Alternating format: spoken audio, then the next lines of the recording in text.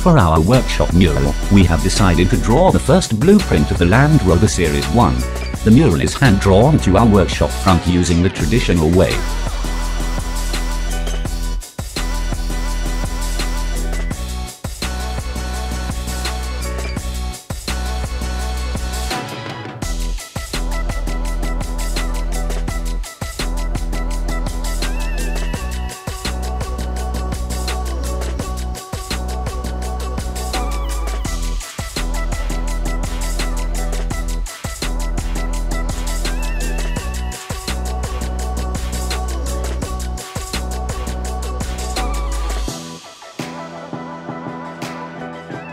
Motion art.